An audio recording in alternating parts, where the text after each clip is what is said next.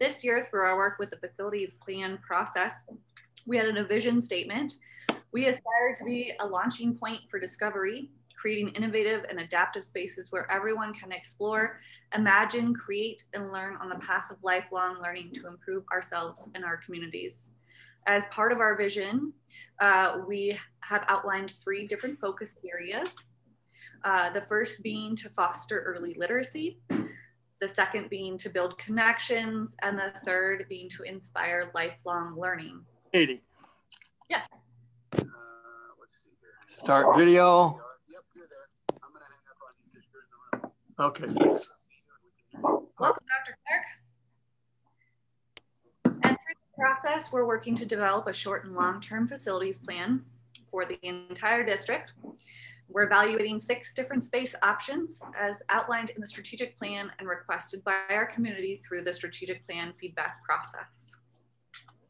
Those six options um, include looking at the feasibility of modifications for our existing building, both upward and outward, looking at building new space, uh, looking at options in the area of rent, lease, or buying property and or buildings, uh, seeing what's out there in terms of uh, options for shared space, looking at offsite staffing uh, partnerships, as well as working with local developers um, to partner on any uh, feasible options. So just to recap for those of you at home, um, what some of the challenges we're looking to solve.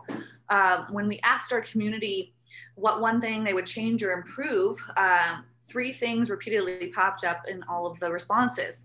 The first being space. Folks wanted bigger space, they wanted different space or a new location for space. Second being materials. Um, our community said, you know, they wanted more um, physical materials in particular. And the third being they want more programs, uh, especially in the area of children's programming. And uh, the latter of the two uh, definitely influence space. And through our process, we've uh, outlined what our needs and current challenges are. Um, and this was done in conjunction using the strategic plan feedback from our community. Um, we've heard that we need a defined and expanded children's area, both to meet that desire for uh, increased children's programming, as well as in our Third Street location to um, better uh, maintain some noise issues. Um, folks would like more programming spaces to hold more programmings, more space for materials. Um, and we need adequate staff workspace to be able to serve our community through programs and materials acquisition. Um, that being said, we also, um, from both a staffing perspective and a patron perspective, uh, look to increase collaboration spaces, so study rooms, conference rooms, meeting rooms. Uh, there's a desire for expanded quiet space and uh, a need for increased storage space. So where we're at in our project timeline, um, we started these conversations back in the fall, and each month we're tackling a different area of exploration. Um, this month, there's you'll notice if you've tuned in in previous sessions, um, we did make a slight modification based on some of the ongoing conversations that are in place. So today's uh, session will focus only on rent, lease, buy, and sell. And we moved um, the existing building evaluations until we have a bit more information that we're waiting on um, to February. So February, um, we'll be talking about uh, developments in the area of shared space, developer partnerships, and then the existing building evaluations. That's in addition um, to getting an overview of what funding options are available um, from Stifel Nicolaus and then with the end goal being to have a review of the draft plan in March. I just threw a lot out there, but I just want to open it up to the floor. Does anyone have any questions up to this point? Um, not a question, just a statement. I just wanted to, when you opened, you said that we had um, talked about what was needed. I would like to just say that that came from our strategic plan. All the items that were mentioned of what the library, what uh, patrons would like to see from the library. Correct me if I'm wrong, but I would just like to make it, um, you know, where did that come from? It came from our strategic plan we did in 2019. If that's incorrect, please let me know. yeah, I would just only add and as well as use data, what the data was telling us in terms of what our capacity is. Um, and so it was a, a definite combination of the two. Okay, thank you. As you may or may not know, the Long Range Planning Committee is meeting weekly on Wednesdays at 1. That's a public meeting for anyone to join. We're continuing to meet with other agencies and entities. For example, this week um, we had a great conversation with Windsor Severance Fire Rescue and um, the Town of Windsor's Park Rec and Culture to dig into more details about um, potential opportunities for collaborating on, on some shared space. Uh, we continue to dig into those exploration options and analyzing those and bringing those forth. Um, we're very close to wrapping that portion of the plan up, as you noted from the previous timeline slide, where February is it. We'll be presenting the last of um, the data for you. And then we're in the midst of um, continuing some conversations uh, and, and looking at what other entities, what other libraries have done in the way of their facility plans, and really digging into the nitty gritty of what we want this final report structure to look like in that final deliverable. So those have been um, kind of ongoing conversations that we've been having uh, since the beginning of December. So tonight, as I mentioned, um, we are looking at the uh, exploration option of renting, leasing, or buying new space. In addition to that, um, we also are uh, briefly touching on um, the feasibility of selling our Main Street property. So uh, as we dig into this particular area, there are some new terms that will be included on the slide that I just want to make sure everyone's on the same page about, about in, in a, excuse me, same page in terms of our common knowledge base. Um, one of the terms that you'll see on some uh, upcoming slides is something called the triple net lease. And that's basically, um, you can see the definition here, but in addition to your rent or um, your lease rate, you also pay taxes, maintenance, and insurance. Um, and that's part of the lease agreement. Another term that you'll see is build to suit, um, and that's where you work with a developer um, or a landowner to develop a custom built facility that you then lease. Any questions on those new terms? Right. Sorry, I've got multiple monitors up, so if it looks like I'm staring off, it's just because I'm looking at your faces on my other screen. Um, so digging in, uh, the first property we want to share with you is what we're labeling the Ash Street property. So um, if you, you've ever driven by kind of behind Taco Bell um, and you visited Mountainwood Pet Hospital, um, it's this building back in here. That was the best photo I could capture from Google. And it's located from an aerial view. You can see here, here's Ash Street um, Windsor Family Dental, Pizza Hut, Taco Bell. So it's back in here with um, some other businesses in this sort of mini business park. Any questions about getting the mental picture of where this where this um, property is located? Can you show where the rec center is in, in conjunction to that property? Um, I this is a static image, but the rec center, if you see my mouse, the rec center is basically due north. So it'd be like up in here.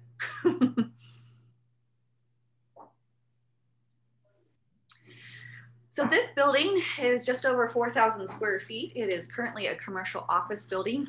Um, it appears to have been a um, medical office building at some point in time based on the current layout. We felt that this and by we, I mean the long range planning committee felt this would be ideal for a potential administrative hub. So a location that would have plenty of room for staff offices, a boardroom, materials processing. So not necessarily um, a public facing space. Um, it is definitely, uh, it has the ability to be configurable. Um, it has two floors. Unfortunately, right now it is not ADA accessible. Um, and there are six bathrooms. So plenty of bathroom space for everyone. right now, the asking price is $775,000. Uh, $100,000. Um, however, uh, the property has been on the market for several years. There is the option to both purchase outright as well as lease at 1250 a square foot um, with an allowance for tenant improvements. Uh, right now, we don't have a good idea of renovation costs um, because you'll see when we flip into the worksheet um, that one of the questions that we have uh, outlined of things if we wanted to pursue this property is to have an engineer evaluate the structural integrity of the, of the facility to see if it could sustain uh, um, the, the heavy weight of shelved books and be a storage a storage center for uh, uh our excess materials. Um, so uh, that's why it's TBD because that could be a fairly significant cost. Um, things to consider in, in the costs, uh, not only the annual maintenance, utilities, etc., but as we look to have multiple facilities in our district across multiple locations, um, we would need to have a courier service that would be uh, running things back and forth to uh, the various libraries or library. Oops, let me, I'm gonna throw this link into the chat. Um, if you have the packet up, it's also the next page in the packet. And I'm just gonna open that up right here.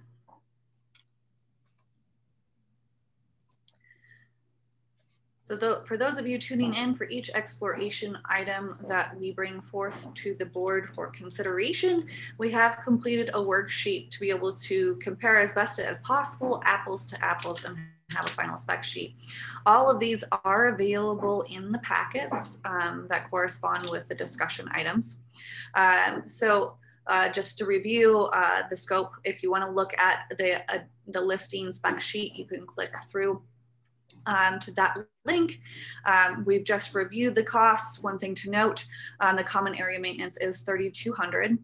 Um, so in terms of service and how, what value add this would bring to the district, it would um, potentially allow us room for our excess collections. So uh, we wouldn't have to deaccession materials uh, as quickly. Um, this would allow us a centralized administrative hub um, to position us to be a, a successful multi-branch system. It would free up space at the Windsor Severance Library by moving some staff and um, processing out of the Windsor Severance Library, and we could convert that to patron use. So really maximizing that property. Um, and it allows us some different programming options. So for example, we could have a dedicated recording space for virtual programs. We could have a dedicated boardroom. Um, it would just expand our capacity. Um, in terms of how this would really impact staffing, um, this would allow us to move the 10 staff members out of the Windsor Severance Library, um, that ratio kind of earmarked um, to afford more patron focused space. We would have the ability to provide more quiet and collaboration space for staff to be able to work.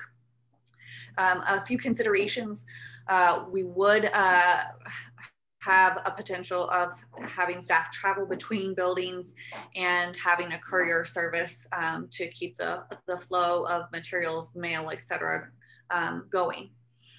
Um, as mentioned, um, it allows more time for materials before they're deaccessioned, um, providing you know more depth of a collection to our users, um, more staff space, um, sets us up for success for a multi-branch system. And if we purchase this uh, building, it would add an asset to our financials. Um, some things to consider. Uh, it does need some significant renovations for us uh, to be able to move in. Um, it would increase our operating costs. Um, and uh, as we mentioned that it may be an ideal space for processing materials, but that really only makes sense if we are a multi-branch system. Um, and uh, it is not ADA accessible. So that could potentially be um, an increased cost for uh, the renovations. Um, ultimately, in the bigger picture, this would allow us to scale um, over time in terms of the overall district sets us up for success, success like I mentioned, as a multi-facility um, district. Um, however, um, there, uh, well, there's plenty of space there. Um, it is finite. We're not able to expand um, outward by any means, so um, we're limited with the space that's that's there. it would by moving administrative functions out of the Windsor Severance Library, we would free things up for patrons and we could expand efforts in all of our three focus areas.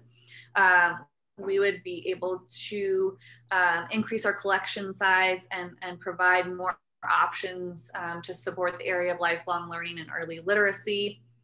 Um, and we would just be able to have the infrastructure in place to meet our vision and mission at a larger scale, particularly as our community grows. Um, and it addresses almost every single one of our um, existing needs or challenges. Um, so we identified a few questions um, if we wanted to pursue this option that we would want to have answered. Um, if uh, we would be permitted to um, park oversized vehicles, aka the bookmobile, uh, in the parking lot. Um, uh, more clarification on the uh, common area maintenance fee. Um, and then like, like I mentioned earlier, um, what is the structural integrity of uh, the, the building in terms of being able to house materials? All right, so I'm gonna- I had a question. Yes.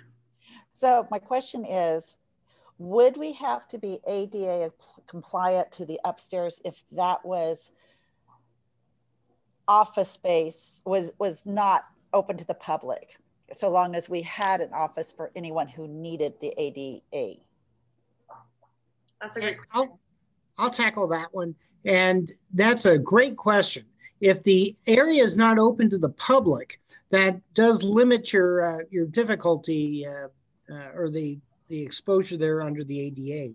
If the if the public isn't uh, invited to the second floor, uh, the the one catch that you'd have there would be if there were employees that were located there, and let's say an employee had an injury, and that employee needed to to be able to access their work, there'd have to be reasonable accommodations uh, that would be have to be made to be able to have them access their workplace.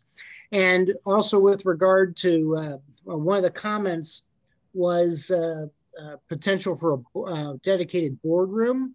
If we were having uh, public meetings uh, at that boardroom, they would they would need to be ADA accessible. Thank you, Bill. You're welcome. Any other questions?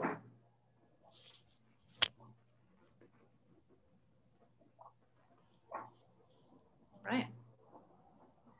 Moving right along. as we've done with the other options, I'm going to ask you to fill out the ranking form. Where is it? I am copying it into the chat. I don't have to do it. All right, I will send this out via email afterwards. So that way you can take it at your leisure.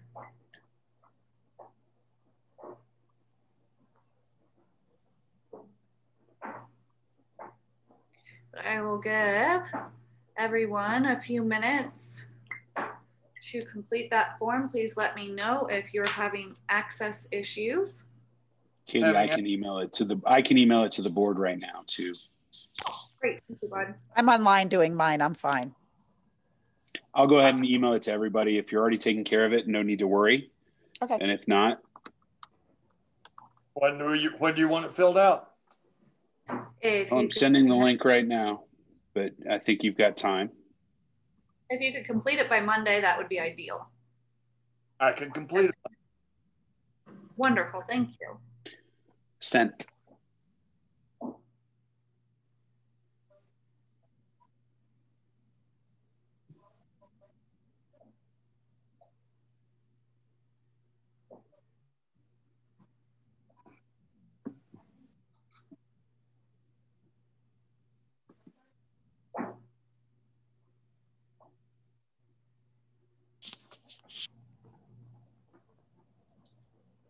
And when you're finished, if you just want to raise your hand and that that will, in the little raise your hand button, and then that'll give me a signal that you're done.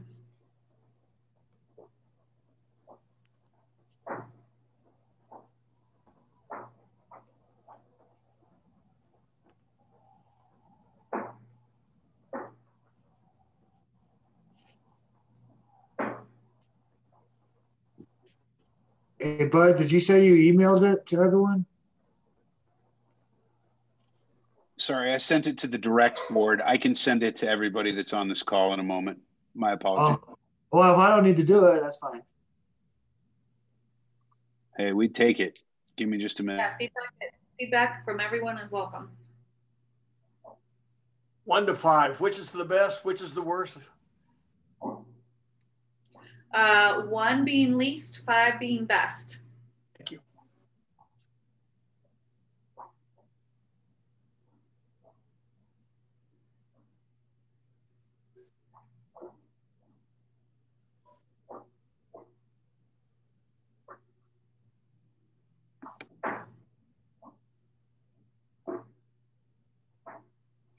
Scott, I went ahead and forwarded it to you. It's waiting for you in your inbox. Make sure.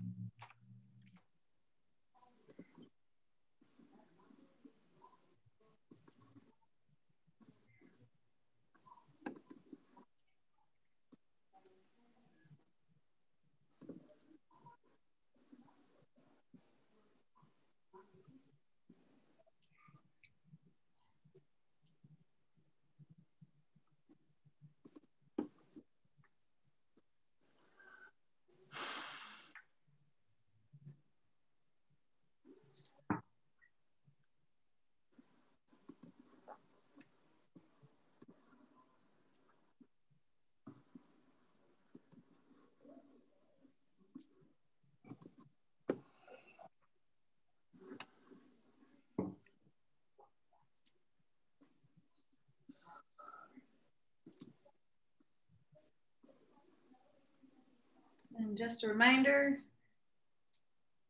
hit the raise your hand button if you are finished. That way I know that.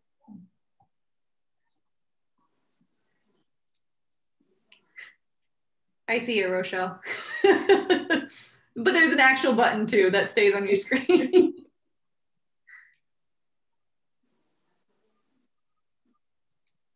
I don't see that button but I am done.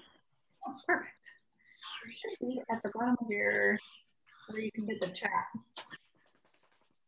I filled it out and submitted it. I hope you haven't. Wonderful. Thank you.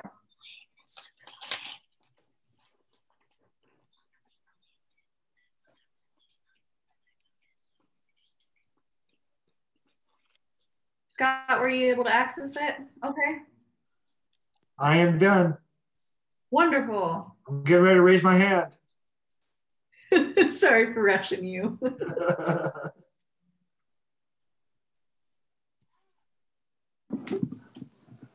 don't know how to get back to that shared screen that has the slides. Um, there's something that says swap screen with video.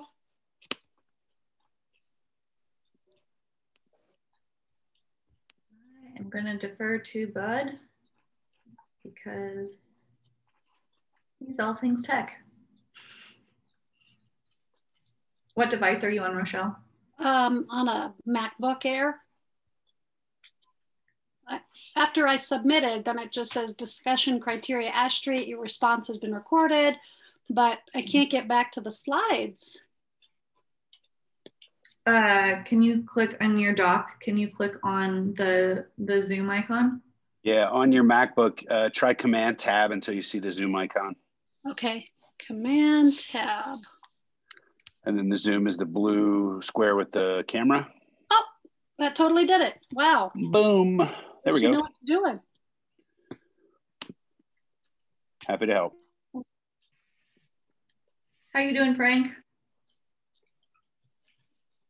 All right. So I'll go on. If you you can tune me out if you're still wrapping up the last of your thoughts, or you can feel free to re- revisit the form uh, at a later point in time. Um, thank you for your feedback on that particular option. Moving into the next option, we're labeling the Diamond Valley property um, because it's in the Diamond Valley area. So this is the property in question. It is located near um, Fusion Fit, uh, the Windsor Charter Academy. You can see it's kind of up in here. Um, and it's just off of Automation Drive, just to give you a bit of perspective there. And then here's um, Diamond Valley. So, which will be the new home for Future Legends Sports Park. So this is a very large space. Um, it's almost 28,000 square feet, and it is right now an industrial warehouse. Um, we have the option uh, to lease uh, the 28,000 square feet or purchase the entire building for 62,000 square feet. Um, we toured this space with Windsor Severance Fire Rescue and um, the Town of Windsor Parks Rec and Culture Department because we recognize that this is likely a space that is too large for just us at this point in time. But we do feel that it is could be ideal for an administrative hub. Again, staff offices, a boardroom, materials processing, um, and storage.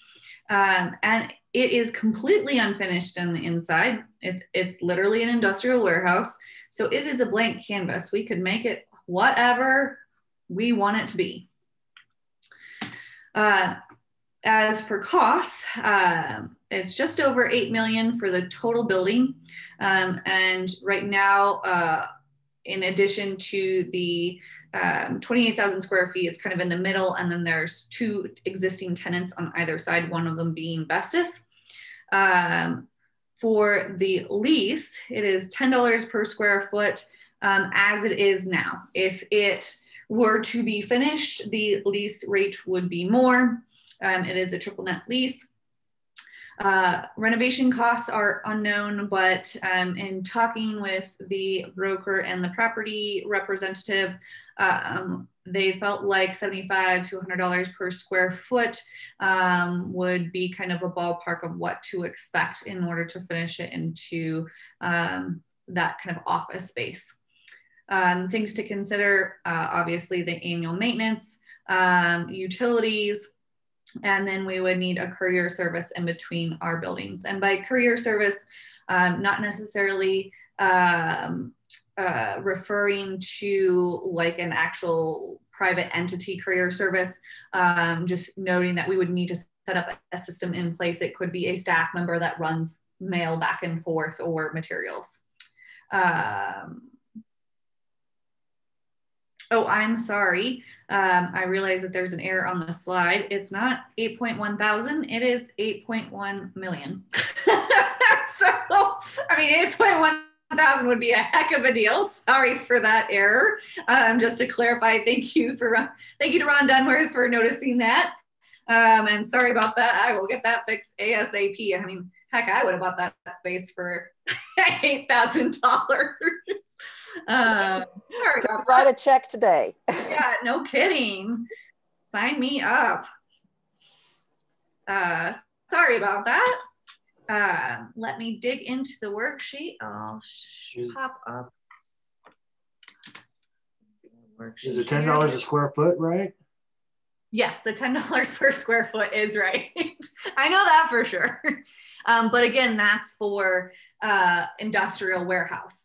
So if it's finished, um, which it, it depends on what it is finished for, they did say that it would be more. So that would have to be negotiated once we um, determined how we would finish the space. Katie, just a quick question on that. Um, that would not be the lease would not be 100 to $75 a square foot. That would be the cost to do the the finishing. Just Oh, for yes. clarification. Yes, that was, yeah, that's in line with the renovation costs, um, which we may be able to negotiate some sort of tenant improvement allowance. Uh, it seemed like things were negotiable, but um, it would likely, that tenant improvement cost would be likely on the lower end, um, in line with some other tenant improvement um, costs that we've seen, and you'll see in some future slides more on the around the $10 per square foot um, mindset. So we would be undergoing some significant um, investment in this pro- property to finish the space in addition to the lease rate. Uh, so flipping to the worksheet, um, as I mentioned, it is a significant amount of space. Um 28,000 square feet for the leasable section or 62,000 total. Um, and if you want to click through, you can view the um, actual listing or the listing brochure, which gives a bit more information about the property and kind of the business park area in general. Um, oh, I had it right here. Dang it. I missed that. Um, but uh, as we mentioned, um, in addition to the lease or purchase rates and the renovation costs, um, we would be looking at maintenance utilities and uh, staff mileage potentially reimbursement in the long term. Um, it would be ideal, like the other um, previous solution, for an administrative hub. Definitely room for excess collections.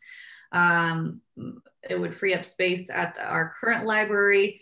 It could provide all sorts of additional programming options. Um, and one thing that um, we've been talking with in our very high level conversations right now with potential partners for this property is you know could we have you know shared rooms shared meeting spaces things like that? Um, because we all need a boardroom we all have boards. Um, and so could we have a shared boardroom um, with the appropriate technology? So it wouldn't be each one of us having our own boardroom. So that could provide some um, some sharing opportunities um, as well as maximizing that space. Um, you know, uh, in terms of staffing, it would allow us to move out those 10 staff members from the Windsor Severance Library to maximize space for patrons, um, as outlined uh, with ratios proposal. It would require staff travel between buildings, um, which would likely mean we would need a courier service between buildings. Um, this space would be ideal for a co-located space with a variety of partners. Um, it is a large empty shell that we can really make our own. Um, uh, they have three front doors right now and four dock doors. Um, there, it, the the receiving dock is very generous, um, so it would be, in theory, if we wanted to have that be a bookmobile parking or even just shipping and receiving, um, it would be a big improvement from where we are now with the you know, five staff member backing her up sort of situation. I exaggerate, it's not five, but it is two. and there's about five inches on either side that they have to clear out to get the bookmobile in, in and out. Um, this would set us up if we were to uh, uh, have an administrative hub um, for success as a multi-branch system. Um, the site is located in the geographic center of our district. Um, so for if we're looking at build out in future locations in you know in Severance or West Greeley, it would um, be an ideal position for that. Um, it would allow us, if we stored materials in this facility, um, more time before materials are deaccessioned, allowing uh, more depth of our collection and breadth, definitely more space for staff, um, and it could be a potential asset if we went the purchase route. Um, a few things to consider with this proposal. Um, as I mentioned, it is uh, right adjacent to the Future Legend Sports Complex. Um, and so there, we're going to see a lot of change in this area over the next two years. Don't know if you see, but saw, but uh, was it this or no? Was it Monday or Friday last week? They announced um, they've got a soccer team coming in. So, and they're hoping to have that soccer team up and running. Was it 2022, fall 2022, I think. Um, so there's there's going to be some significant development um, in this area. Uh, as with any of these options uh, that we're looking at, this would increase our operating costs. It would be an additional um, facility to maintain. Um, having a processing center or central processing center only really makes sense if we intend to be a branch system. Uh, the neighborhood within which this is located is primarily industrial. Um, so that's just a consideration. Um, and you know, this is a this is a massive space. So uh, from a financial stewardship uh, aspect, it would likely behoove us to partner with other entities um, to share this space, which um, in and of itself, um, there are some complexities uh, with uh, structuring a lease with multiple partners and or purchasing a space and leasing it. Um, that would likely be the IGA route. Um, it's been done before. Um, for example, the town of Windsor uh, previously leased space from the school district in a long-term lease agreement with them through an IGA. Uh, right now, the, uh, the building only has heat. There is no AC, so we would have to um, uh, install AC um, and there are definitely some significant costs associated with the build out of the space, not just um, improving the aesthetics, it would be completely building it from the ground up. It's basically just a slab with walls. so in terms of scalability, um, it would allow us as a district to scale over time by having that administrative hub. Um, if we purchased this space, um, as uh, leases ended uh, with tenants on either side, um, we could expand into those areas as we needed um, for growth. Um, very similar, and I, I, I'm not intending to skip over this by any means, but you'll see these items repeated throughout um, all of the options we're looking at because it's the same scenario, so to speak. Um, so I'm, for sake of time, I'm not going to repeat these. Um, and the, the solutions that we would be meeting with this property are also the same as the Ash Street. Um, so we do have some significant questions that would need to be addressed before making the decision to pursue this option uh, the first being um, what, if any, partners are willing to commit to this project. Um, and then uh, we would want to determine if there are any legal implications to be aware of um, if we were to purchase the space with existing tenants um, that have multi-year leases. Any questions or feedback?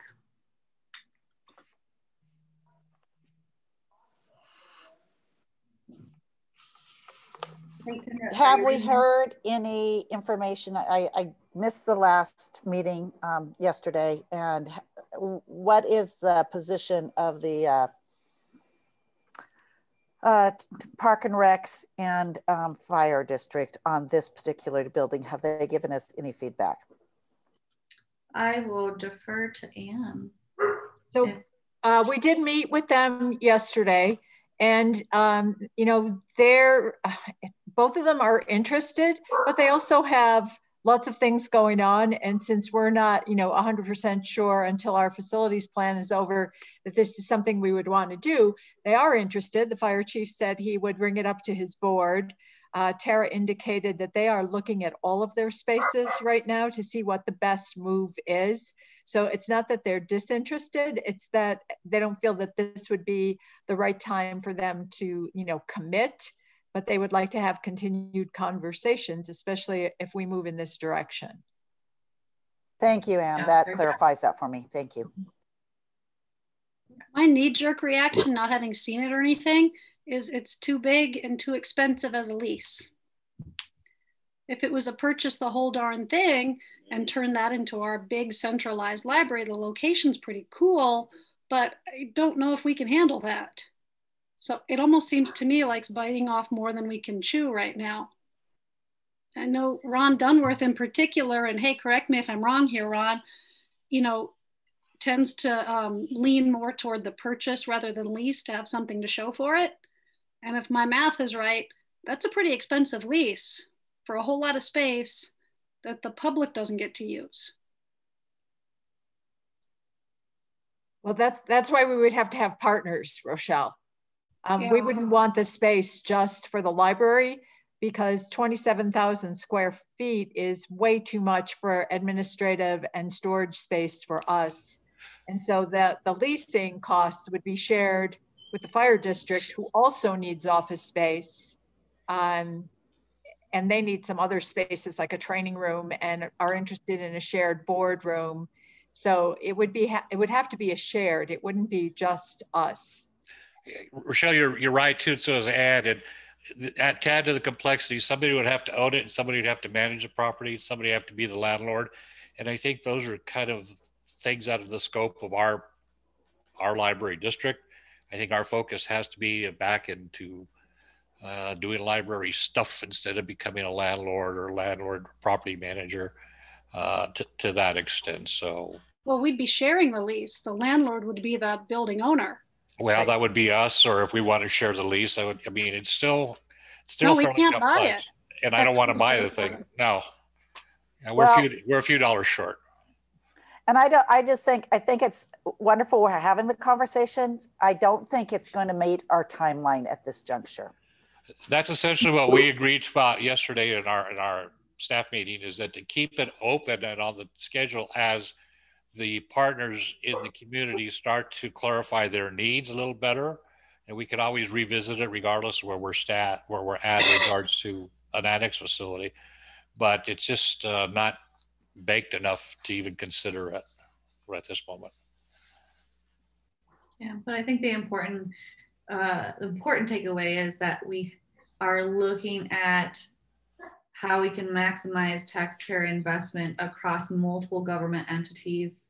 We have multiple players at the table willing and eager to engage in conversations and you know the immediate need we might not be able to to satisfy through a co-located facility but potentially more of a longer term towards the end of the plan it may be more feasible um, to to figure out a solution that could meet the needs of a variety of entities.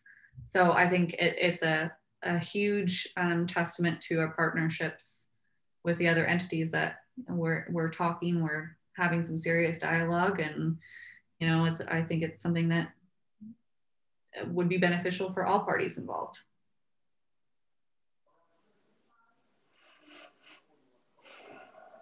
Any other questions or feedback before we um, evaluate and do a gut check on this. Looks like hey, Katie, Scott. I got, my, I got my hand up. All right. What do you got, Scott? Okay, so I got two questions, but kind of clarity questions. On this on this presentation, unless I'm not seeing it, is the severance option in this presentation tonight? No, it was last work session. Okay, so that was a separate one. It's not part of this one. And then on the Correct. survey, I had one other question too. I found myself when I was taking that survey question, answering those questions, some of them I was answering thinking there was really no other choice, maybe. So I was wondering, you know, is there going to be a survey at the end of this where we get to make choices on all of the options and what we think which option is better once we know what all the options are in our head? We You know will what I mean?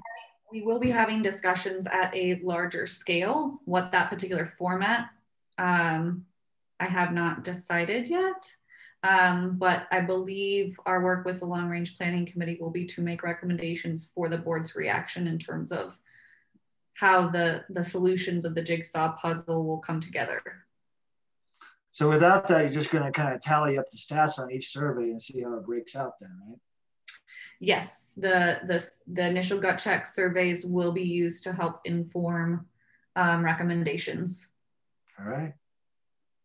And by severance proposal, do you mean the, the proposal from the town of Severance or are you uh, referring to the flame project? No, no, no, the town of Severance. Okay, the town of Severance proposal, yeah. That um, whole package. work session. Yeah. And you're welcome to that, all that information in the worksheet. It can be found in the December packet on the library board webpage. Bud, would you mind throwing that link in the chat for Scott? I'm pretty sure I Uh, have. Not it. at, not at all. Give me just a moment. Thank you very much. If you if you've got it though, oh well, if you got it, you're good. Yeah. Well, thanks, Katie. I was just thinking, you know, some, at some point a question of, well, what proposal, which one did you just like the best overall, you know? Which Correct. one pays the best and that kind of thing is what I'm getting at. But Yeah. I'll be patient. I'll just keep, I'll wait. All right. Well, Thank here's you. the form you can dig into. Um, but yeah, Scott, we will be having kind of that, that summary conversation. Um, I think one important factor will be uh, the financial presentation next month. Um, because I, I don't think we can really evaluate what's an effective solution until after we know what our financial options are. Cool. Hey, thanks, Katie. Yeah, no problem. Um, all right, I threw the form in the chat. Feel free to access that. We'll give you a few moments. Um, put your hand up or do a little emoji action, um, your reaction to indicate when you're done, or just give a holler in the chat or verbally to let me know you're ready to move on. Whatever And your you pleasure. just- waiting for if you were waiting for that link to come in email, I'm throwing it in there now. Thank you so much, bud. Sure.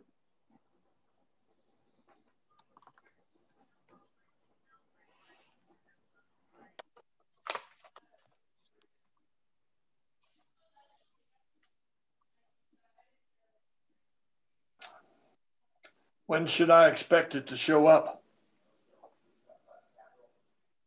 I believe Bud is working on, on getting that sent out now. So It's it's sent, so we're dependent now upon the internet and the satellites and the space and the government and all the things that conspire to make our bits come to us when we wish for them to. I got it.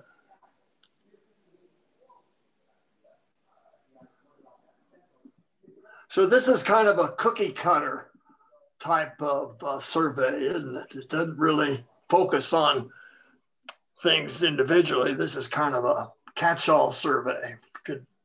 Correct. So wanted to, um, as much as possible, compare apples to apples as we're evaluating these. Um, so we're asking the same questions.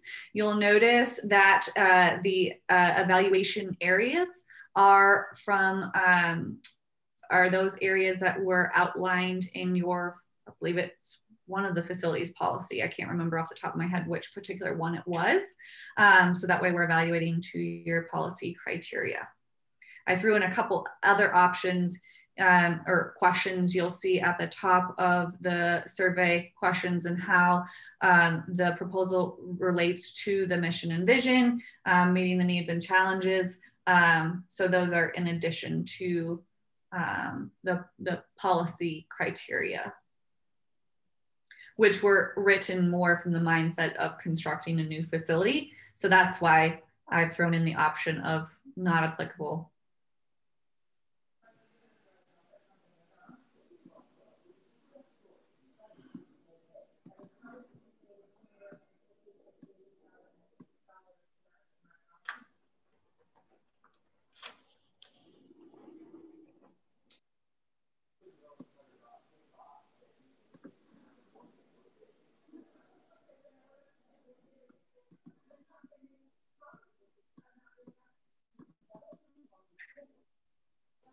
And I'm going to have to take off um, in about uh, 15 minutes or so. Okay. Feel free when you have a chance to fill out the surveys um, when one sends them through via email at your convenience.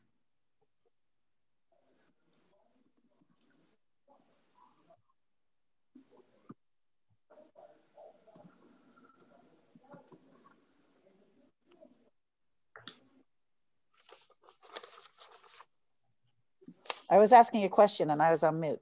Um, can you go ahead and send me or have Bud send me the one? Because once once I'm off, I can't get these. Can I? Um, you should be able to access the hyperlinks in the packet. Let me know okay. if the links aren't working in the packet. Okay, I'll check that right now. Thank you. Yeah, if you click on see form, you should be able to access it from there, but let me know. Okay. Yeah, I've got the packet right here. On my other computer you know, sometimes when the PDFs get made, they sometimes the links don't always copy over.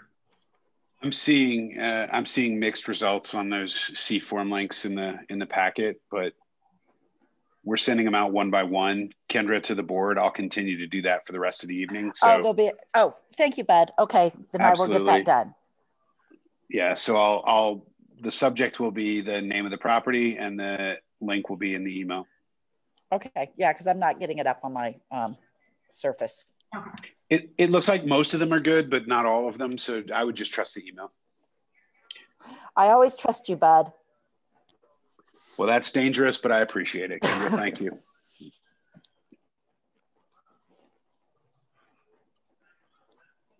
Just checking in. Dr. Clark, how are you doing? I filled it out and submitted it. Lovely. Thank you so much. I think that's everybody then. Holler if I need to take a breath before moving on to East Point. All right. East Point um, is a, it kind of touches on two areas. One, the renting, leasing, buying option, but it also is a result of our direct outreach to a local developer, Chris Ruff, um, so we're looking at the East Point development. Uh, so that's off of 257 and 392 right now. Um, the Doug's Diner Strip is uh, the most recognizable portion of it that's been built out. Here's the map. So we're looking at, I can get my flag thinger to go away, but we're looking at this area. So the cemetery is right here in Windsor. Come and go human being, and then when you flip off the roundabout there at Doug's Diner right in here. So, this is that circle where it's going to be that you've drawn? Yes, roughly, yeah. So this is a, a drawing of, of, the site plan here. Um, and so it could, well, there are several buildings or plots open. Um, the one in particular that we were discussing with him um, is this building to the south. Am I getting my directions right? South of Doug's Day Diner. I might be screwing up my directions. No, I think you're, that's right, Katie. I am directionally challenged, so just a heads up.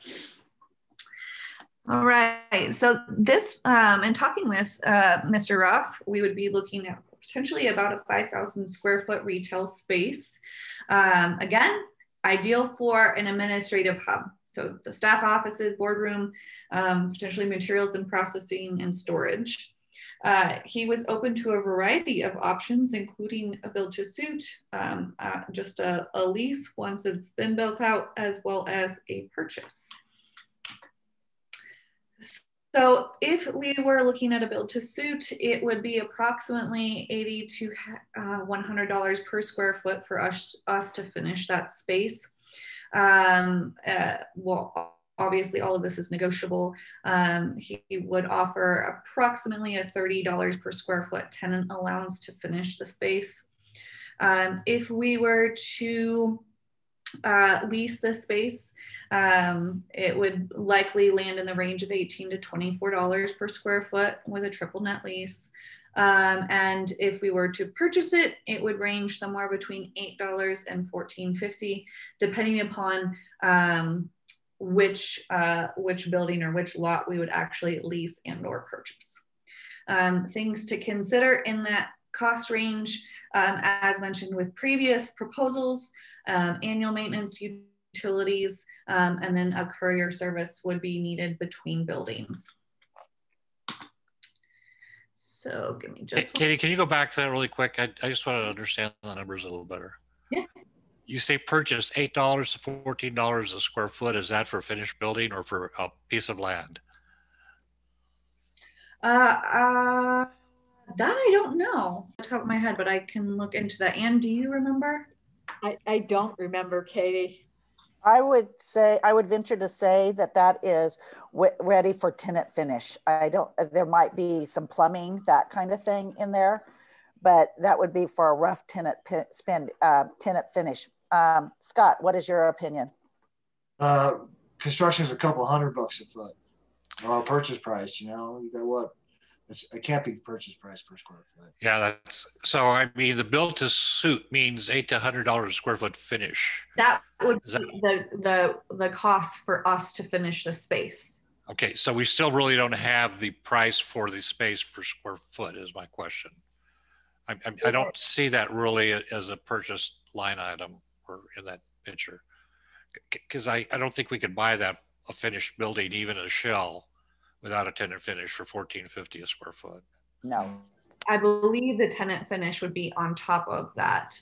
Yeah, That I doesn't- still think, yeah. Could, could you take that back to, to Mr. Hunt and, and ask for validation on what the Yeah. building costs would be per square foot? Not, not to, I mean, the, the numbers just don't really fit because, uh, Would, would that number be just the dirt? that's kind of the question I Basically, we're was, buying the dirt, that lot.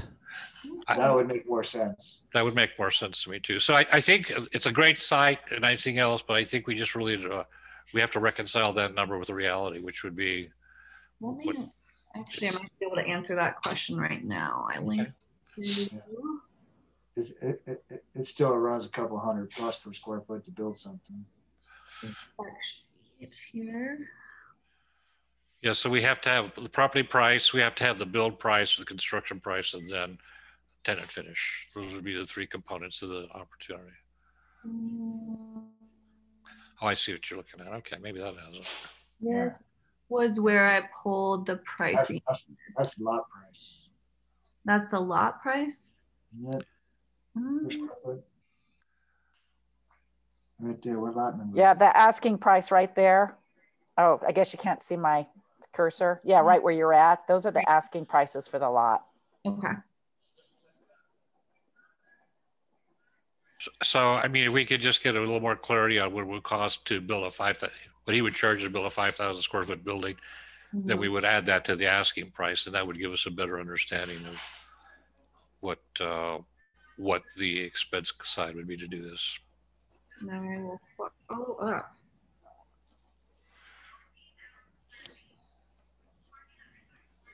Awesome. Any other questions? And that, and that build to suit at hundred to eighty to hundred is probably interior. Yes, it is interior. That would be our, our cost burden is what he asked for us to finish it. And That's, but that, then you also have to, um, think through, what did he say? Uh, that he would offer likely somewhere in the thirty dollars per square foot for interior finish allowance. And that triple net price is probably what, another seven or eight dollars a foot? Uh, I'm not sure. That, that's, that's the one that kills you, you know? Ron, maybe, maybe five dollars a foot, you know? Uh, no, I don't, but I, it, it does look somewhat, uh, expensive. I, I think if we could just get him to provide us with a set of numbers, Katie, that are specific to our needs, which would be price of the dirt, then the price of the build, and then the finish, And triple net charges. and, and triple net, thanks. Well, our, we, we would have triple net if we bought it. That's, no, you're, you're right. Okay. But that, that was an example on the lease term though. Yeah, so we, he, I think Scott's right in asking for validation of that price if we were to lease it on the triple net. Yeah. Will do. Thank you, ma'am. All right. Um, again, I'm going to just breeze through the worksheet because it's almost identical in terms of service impacts because it's the same solution as the previous two worksheets.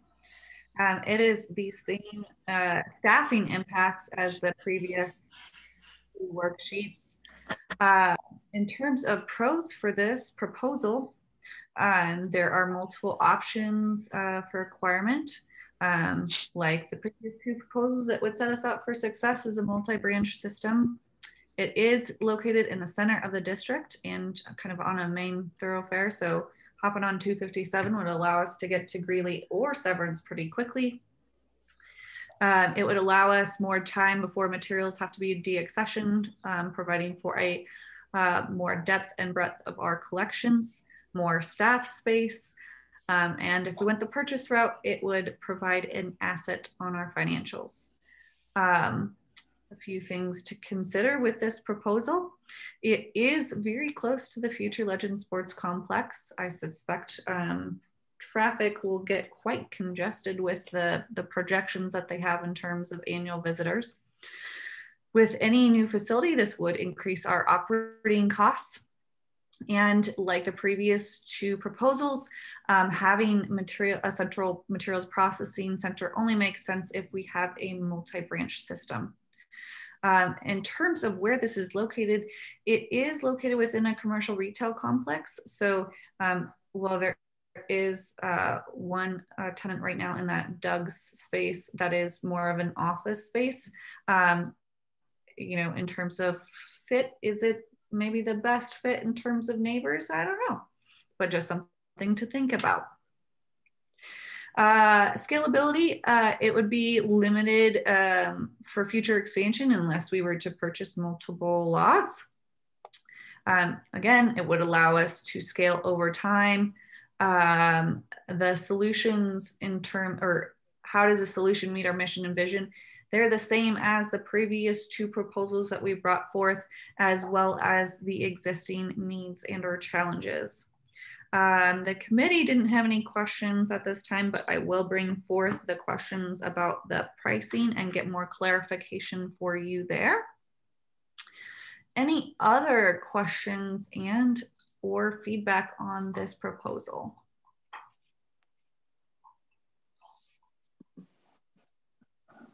Hey, so just for clarity, one more time, sorry. So that last one was really primarily just to lease it, right? Because we don't know what any purchase prices are yet. A no purchase price, it like that's what I'm getting clarification on, but it is an option. Okay. As far as location and um, size, I thought it was one of the best, better proposals that we've had.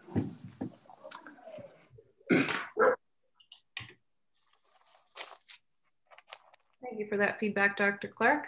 I just threw the form link in the chat window for the panelists and Bud will send it out via email here shortly. If you could indicate either in the chat or through the raise hand feature when you're done with the form, that would be greatly appreciated.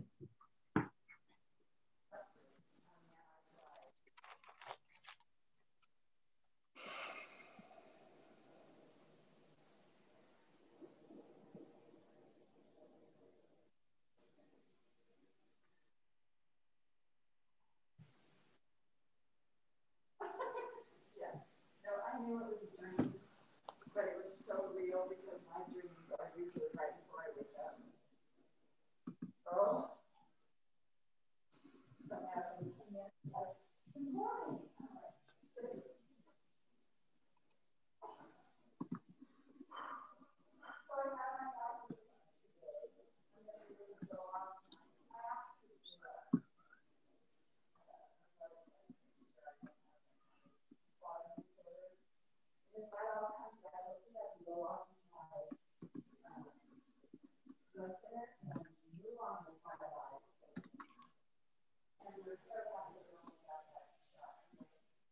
Long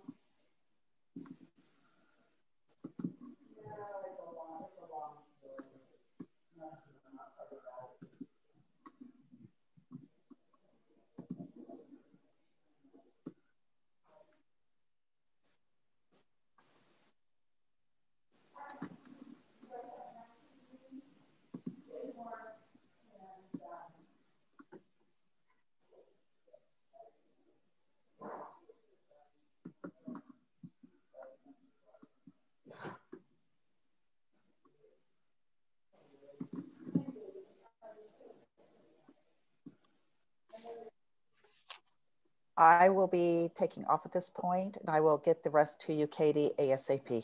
Thank you, Kendra. Have a good evening. You too. Bye, Kendra. Bye.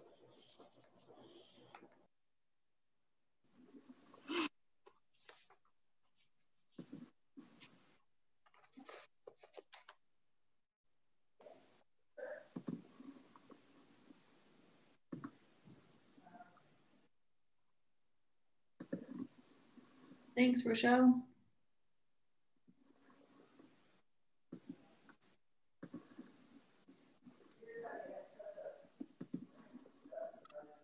Mm-hmm.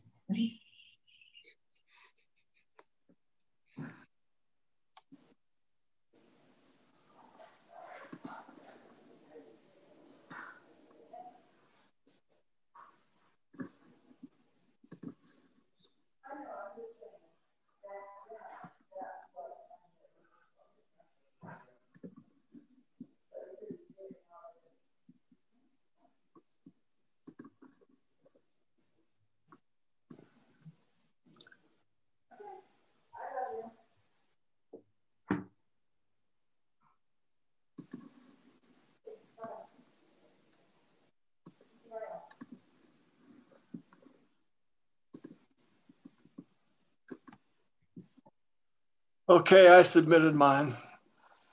Thank you, sir. And I just want to double check with Frank, Scott, and Ron Dunworth that your hand raises are current hand raises and not existing hand raises. Mine's for real. Okay, I'm done. perfect. How about you, Frank? Good to go? All right. Thank you. So last but not least in the rent lease buy category is a project called The Flame. Just one thing to note um, before we dig into this project. Uh, this, uh, uh, Scott, would you prefer the term property representative or property owner? Well, uh, you just said them both, so either one works. All right. Well, Scott is the property representative slash property owner. So we have an opportunity to ask questions if he is comfortable with that. I'm flattered to be on here. Wonderful. Um, this is a proposed rendering of the project. It is located in Severance, um, right near the Dollar General. Um, so right off of Harmony there and right next to the dollar store. So in looking at the list data, it is just over 9,300 square feet. Right now it is um, uh, intended to be a retail space, but this property would be ideal for a Severance branch. Um, it is currently unbuilt, so it it is a complete blank canvas. However, it should be noted that the plans have already been approved by the town of Severance. So um, that does expedite the process for us somewhat. In terms of costs, uh, a lease could start at anywhere from 28 to $32 per square feet. There is the option for a build to suit, um, which uh, would be to be determined, um, or uh, we could purchase um, the the property outright for um, five hundred to six hundred thousand dollars estimated for the lot plus the plans, um, Including uh, plans. Including the plans. Yes. Um, things to consider would be annual maintenance, utilities, etc. Um, as we looked at in previous uh, configurations, um, depending upon how we wanted to staff this branch from the kind of low end where it would just be uh, collections, um, minimal services offered, you'd be looking at staffing of just under $200,000 a year. Um, if we wanted to offer programs or more extensive services, you'd be looking at um, just under $300,000 per year. Again, these are estimates and it really depends upon what the final programming service options are, but that gives you a ballpark of, of what we'd be looking at in addition to um, the physical structural costs. Um, if we were to have a, uh, a second facility, um, we would need a courier service between buildings um, to maximize our collections um, uh, and provide mail, and things like that. Any questions before I dig into the worksheet here?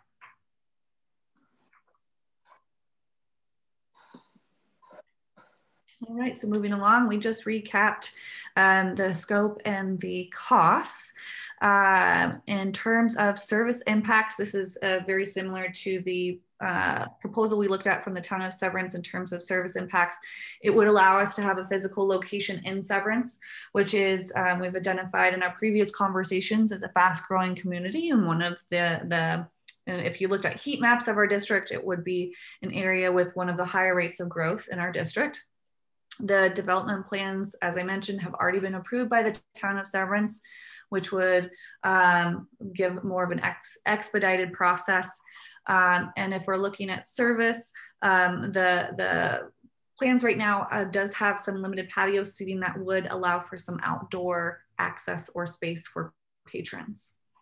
Um, as I mentioned, a second location would mean additional staffing, and we looked at uh, what that would need for a, a, a, space of that size. It would be approximately 9 to 14 staff, depending upon the services offered, um, with costs ranging from approximately 200,000 to $300,000 per year.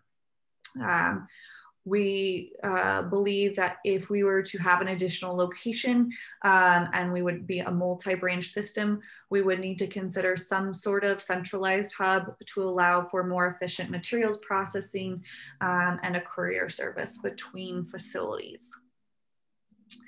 Uh, and looking at this proposal, um, it is the last commercial property between Severance and Highway 257. So um, as Scott shared with us, it, it's essentially a gateway project um, for the town of Severance.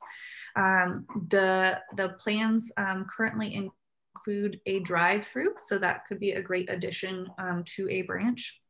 There are kind of multiple acquirement options, purchase options, uh, you know, depending upon how we wanted to structure it, that would open to negotiations. Um, the property does back up into a residential neighborhood, but it also has the visibility of being on a main drag of Harmony Road. Um, all, all, utilities are on site, and that includes fiber. Um, the lot size uh, is a bit smaller than what we've been recommended in terms of uh, for a branch facility. Um, it is just under an acre at 0.83. Um, so that would, uh, because the building takes up the majority of the site uh, or the lot size, um, that would limit us in terms of future expansion. Um, right now, there is not a pedestrian crossing currently by the light, but that obviously could change. Um, there is, well, there is some patio space that is relatively limited. Um, and like I said, the facility would cover the majority of the site. So it limits us in terms of outdoor programming. Um, uh, Scott did indicate in our conversations um, that there is a half an acre lot next door that may be um, an option for purchasing for additional parking. Um, so that is something to consider. In terms of scalability for this proposal, again, the, the, the site is limited for future expansion because the building um, uh, takes up almost the entire lot. In terms of right now, the plans don't include a second floor. So if we um, wanted to modify that for potential future expansion, um, that would take some um, thoughtful uh, practice there. Um, and as I mentioned, there is that half an acre lot next door that may be available. Um, this solution would allow us to expand our reach of service into more communities within the district, um, which would allow us to meet all three of our vision focus areas. Uh, in terms of what our needs and challenges are, um, the size of the building wouldn't necessarily address um, our current staff space and storage constraints at the Windsor Severance Library specifically. Um, it may temporarily expand our collections, but it wouldn't necessarily give us the capacity to have the increased collections storage that we're hoping for um, to be able to uh, uh, have some overflow material. And, um, and it does, though, however, begin to address the long-term growth in the area. Um, the committee did not feel that there were any questions that needed addressed at this time um, before continuing down this path, but I do want to open it up to the floor for any questions or feedback.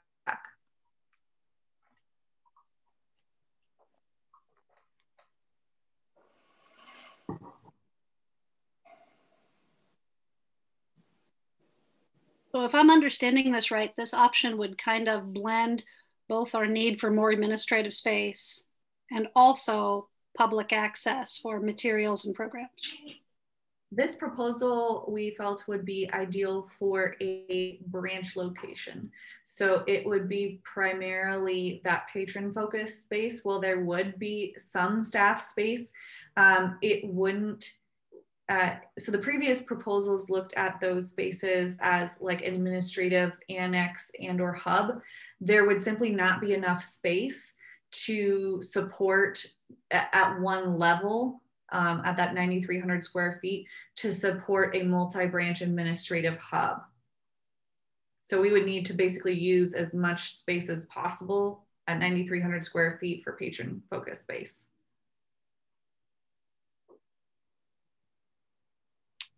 So we would still we would still need an administrative hub on top of this. Okay, but it would very expensive. Sorry, Rochelle. Go ahead. Oh, I say our needs are getting very expensive.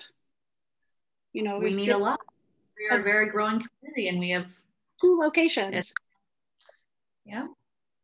yeah. There's a lot of it's not as um, when you're looking at a multi-branch uh, system, it's not as simple as just putting up another location.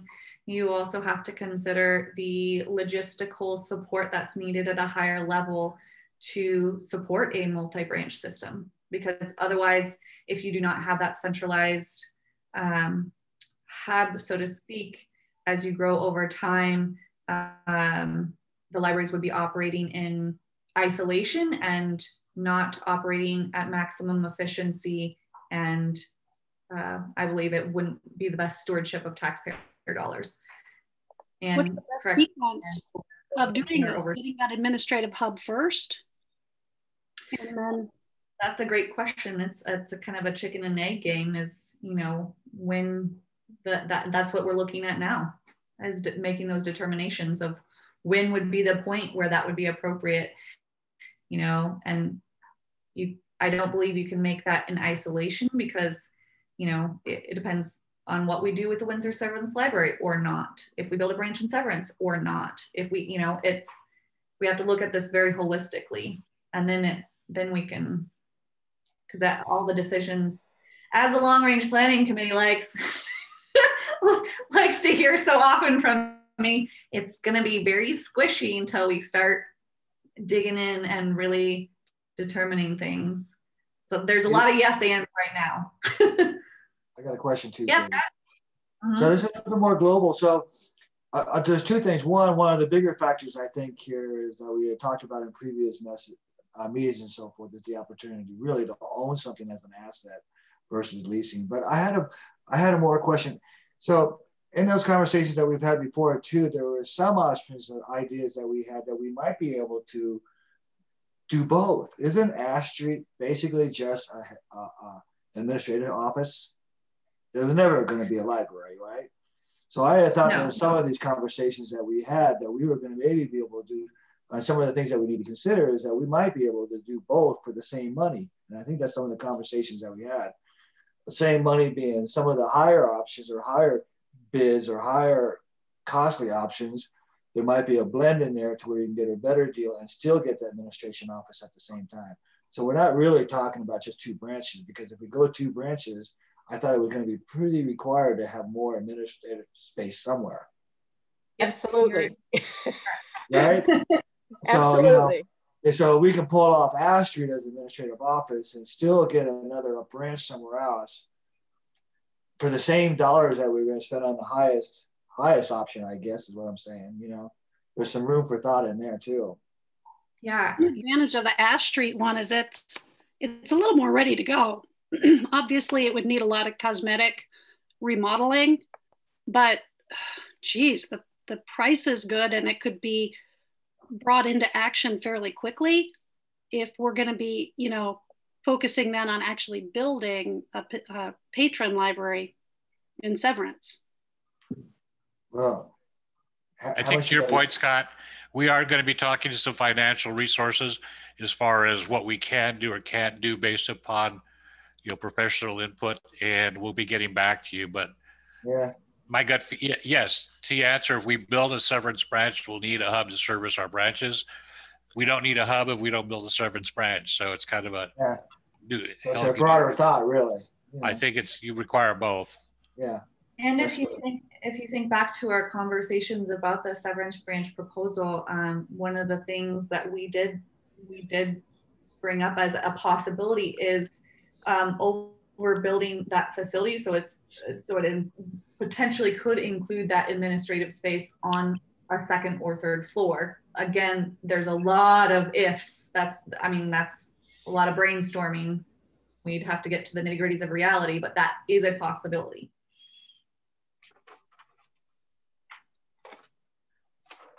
Yeah. All right. Um, gut check time. I threw the form in the chat and I know Bud will be sending it out here shortly to you. But if you could take a moment to fill that out, that would be much appreciated. And give me a signal when you are done.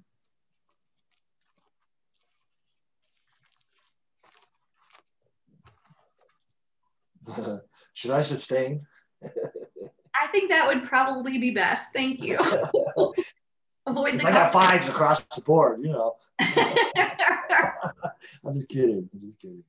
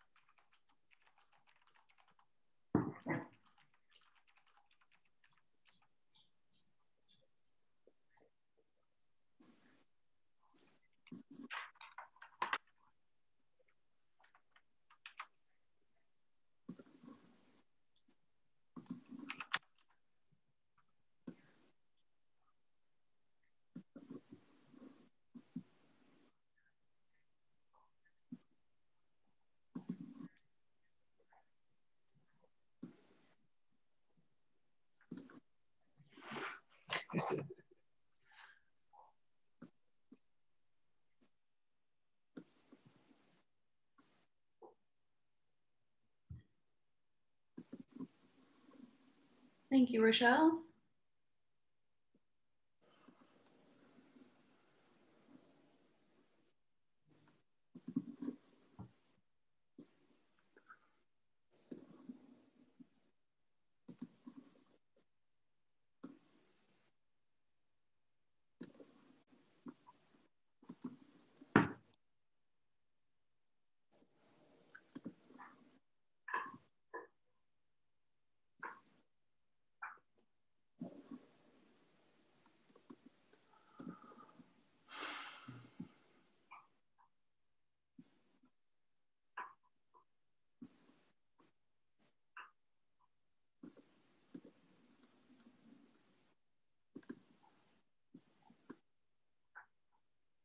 Okay, submitted. Lovely. It looks like we're all done. So last proposal we'll be looking at today was uh, or is selling the Main Street property. So as you may or may not know, the library owns this parcel of land um, just off of Chimney Park Drive in 392. So just for context, um, this is the cemetery down here and Kum & Go is over here. And then this is Windsor Lake, the big blue blob. So we asked two commercial brokers, um, the two commercial brokers that are also helping us identify potential properties um, to do a market analysis. This is not a formal appraisal. Again, this is just a market analysis, but it will hopefully provide us some perspective. Um, so the lot that we own is 5.76 acres and it is zoned commercial. Um, it was purchased in December of 2016 for $925,000. Um, based on uh, comps in the area, uh, the two brokers believe that an appropriate listing for this could perhaps be 1.2 to 1.6 million Some costs associated with the selling of this property would be the broker's fees, which would be determined based on um, the particular broker we would want to engage with. Now looking at the worksheet.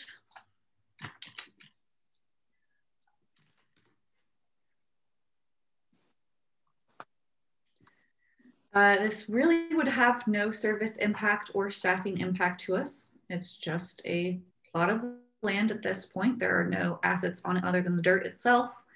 Um, in terms of if we were to sell this land, a pro would be that it would provide some liquid assets that could further some of our other objectives um, and funding those capital projects within the district. Um, a few things to consider with this proposal is that land is a finite resource um, and is extremely limited um, in terms of availability in the Windsor community.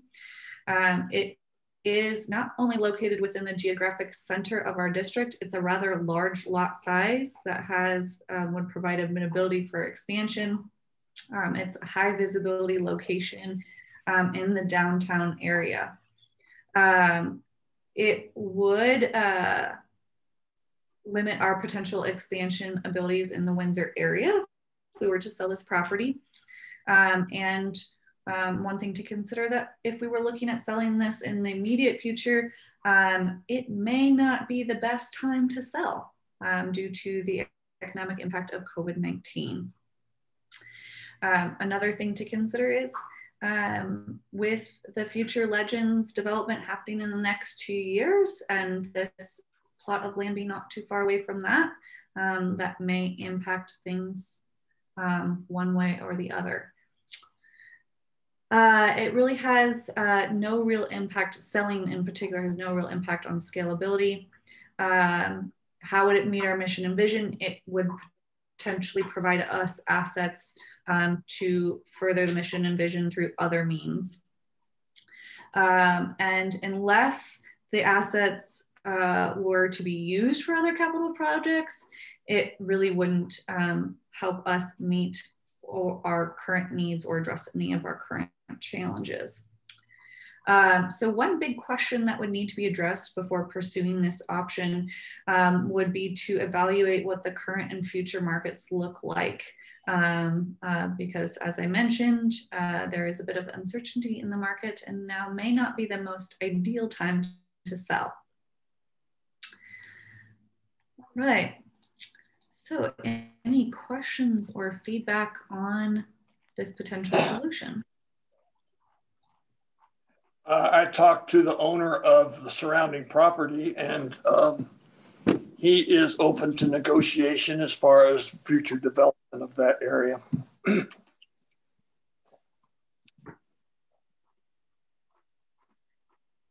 Thank you, Dr. Clark. Any other questions or thoughts from the group?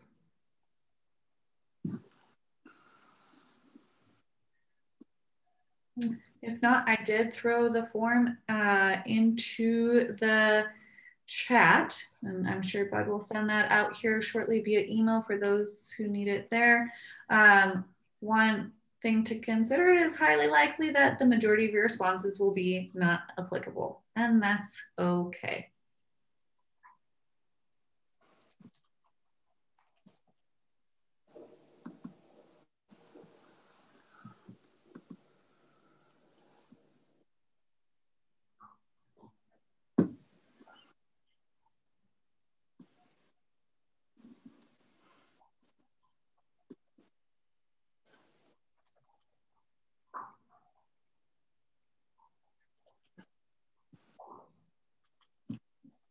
So our focus is on selling. Yes. That's, that's the term we're focusing on is selling. Correct.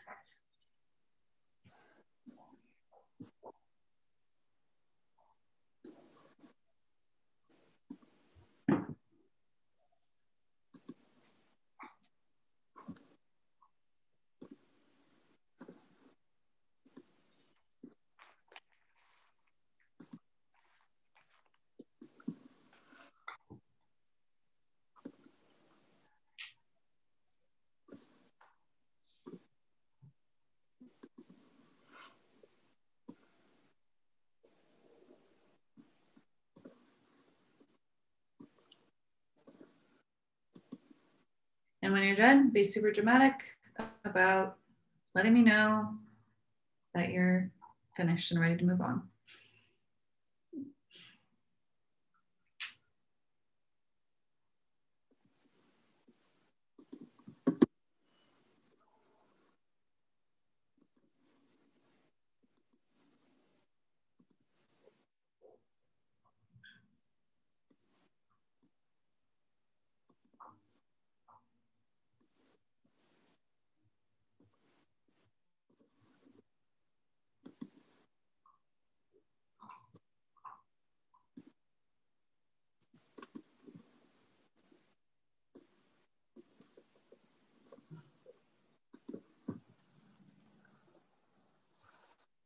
Submitted. Thank you, sir. Thank you, Rochelle.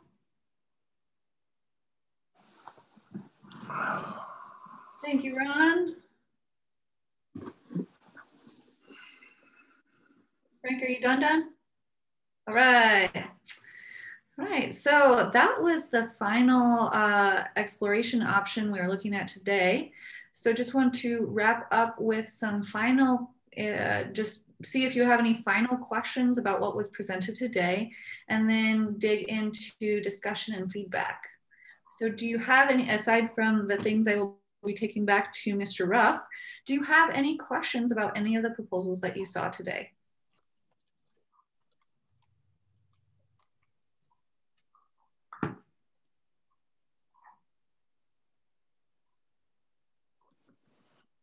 All right, seeing none, we will dig into the discussion with the remaining time. Just wanted to open it up. Um, what are your overall thoughts? What's going through your mind right now? Well, let's see. The first question is which proposals will solve the library's most pressing or current needs? What are the library's most pressing and current needs? Well, if we look back into our presentation, um, we spent some time thinking about that. And if I can get there quickly, you recall from a previous work session, we ranked those in priority order. Almost there. Here are the seven needs and challenges that were identified through the strategic plan and our use data. And uh, they are in priority order as determined by you. I see that we're the criteria that was we got from public input during our strategic plan. Is that correct? Yes, these originated both as input from our the public as well as our use data. As far as what?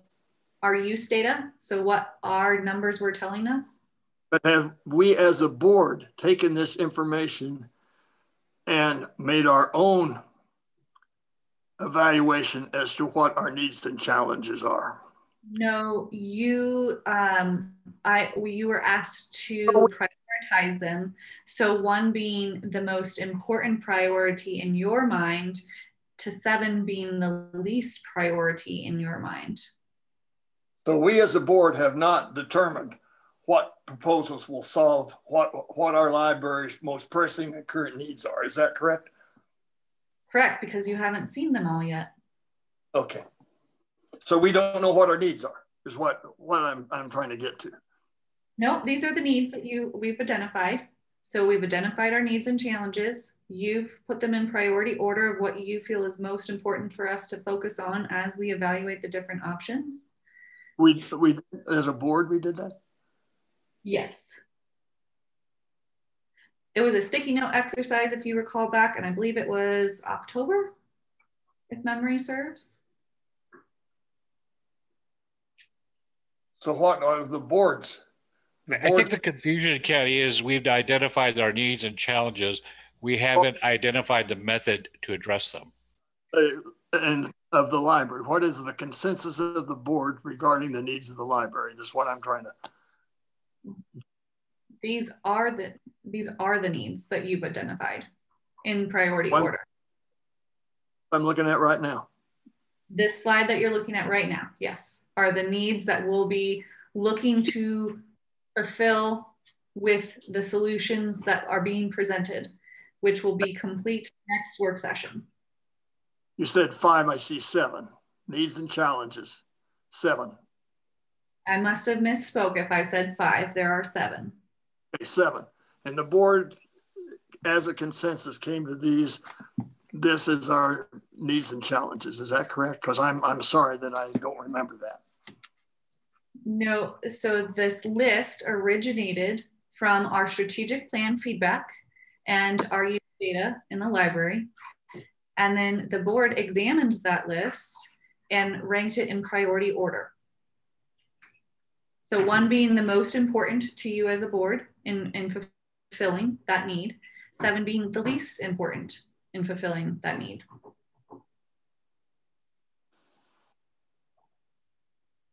I'm, I'm getting kind of a general consensus, not only from the board, but from patrons that in order to, to achieve number one, number two, number three, number five, we're kind of looking at another branch. In order to have another branch, we need the administrative space in order to feed that other branch. So I think the sequence needs to be we lay that groundwork of letting our staff spread out and, and get ready for launching another branch. Although I love the idea of the locations of the Diamond Valley and the East Point, they look kind of expensive. They look like they take a while to do because it's going to require construction. Um, you know, there's there's no perfect solution, but geez, the uh, Ash Street one is kind of ready to go. So if people are getting antsy to, gosh, we got to get this next branch built, having the additional administrative space and an asset on Main Street, um, I think the Ash Street one is kind of appealing. I like our land that we have right now and I hate to see it go. I just don't know how we can use it down the line because we know what that would cost to do. And the voters said no. So as much as I hate to see it go, I, I don't think now is an ideal time. Maybe if we could hold out a little while longer and use our other assets to get that administrative space to lay the groundwork for building another branch. Uh, Rochelle, you keep referring to Ash Street as a, a library branch. Oh, no, no, no. As an administrative location to allow us the infrastructure to have more staff space and then um, support another. Isn't Ash Street also an option just to rent without having to go through all the infrastructure, without having to buy it and pay for it and do all the tenant improvements? And It would still require some tenant improvements. but that's a landlord deal. Uh, there do have an allowance, I- if I recall, of ten dollars per square foot for tenant improvement allowance. I saw that. I would imagine that it would exceed that um, based on the condition that I saw, but it was mainly in, and and Bud and Casey, oh, and Ron Dunworth, you were all there. It felt to me and like it's mostly cosmetic things. What we don't rather- know about that building, if we want to use it for excess material storage, is whether or not the floors will support that. And so you would have to have an engineering evaluation to see if you could put steel shelving and materials on that steel shelving, um, or would it require a whole lot, I mean, an additional amount of money to refinish it?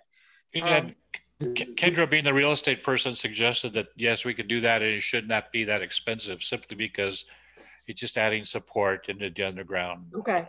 under it. But you would, but you would still have to have an assessment. And then, yes, the rest is cosmetic. I mean, it is right now divided up into doctors examining type rooms, which isn't going to function well.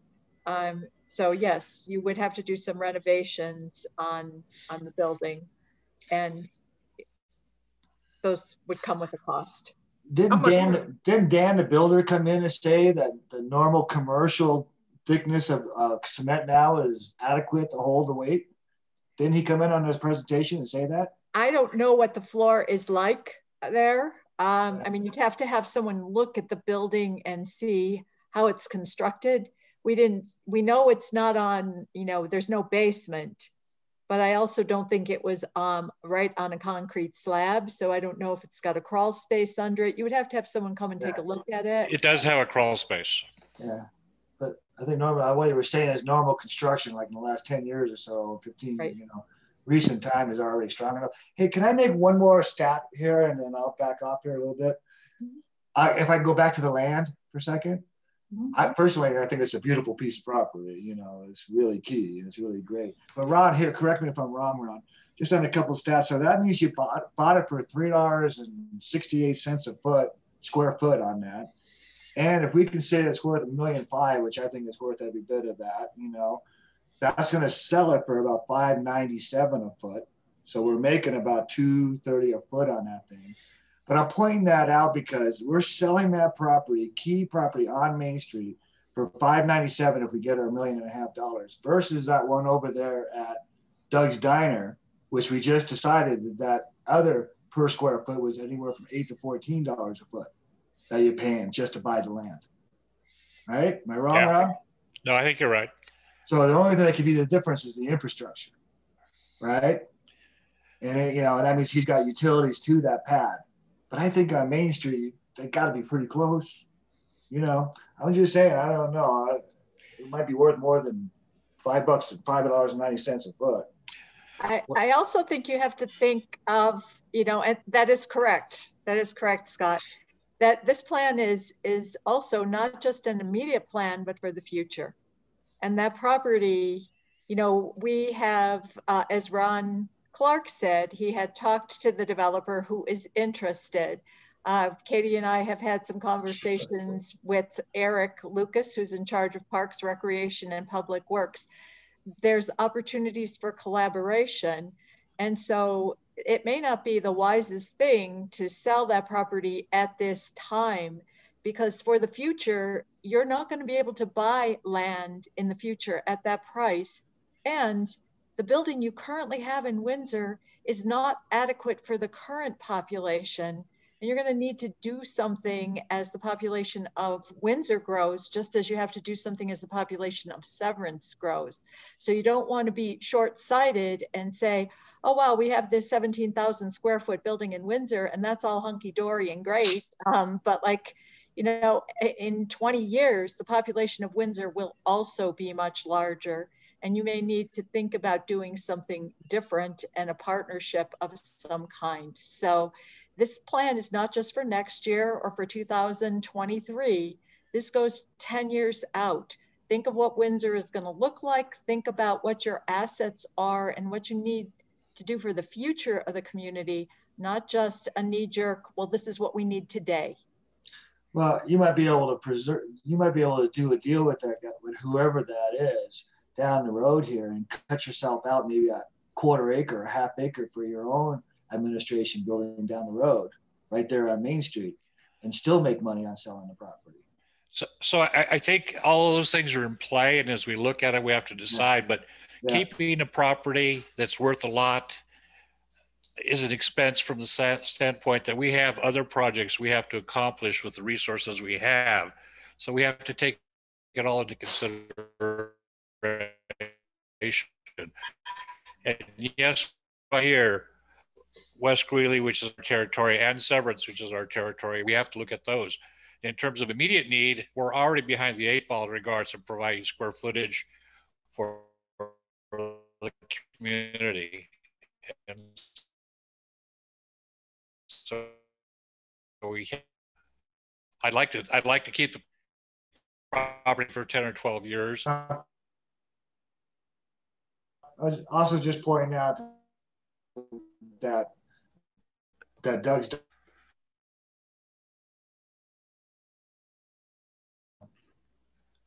Propertize and use the asset. Yeah.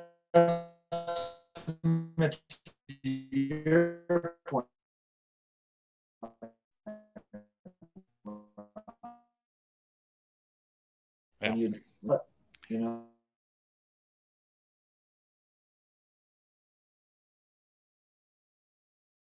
Bigger consideration.